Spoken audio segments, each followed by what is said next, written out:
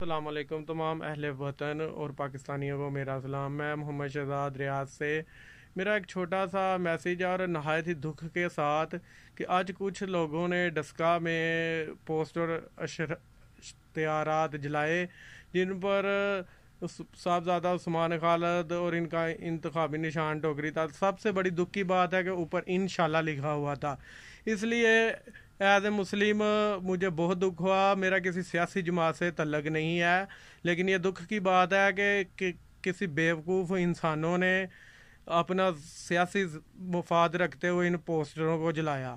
جو کہ نہایت دکھ والی بات ہے، تو لہٰذا اگر وہ میرا میسیج سن رہے ہیں، تو اللہ کے حضور توبہ کر لیں، کیونکہ اوپر انشاءاللہ لکھا تھا یعنی اللہ کا نام۔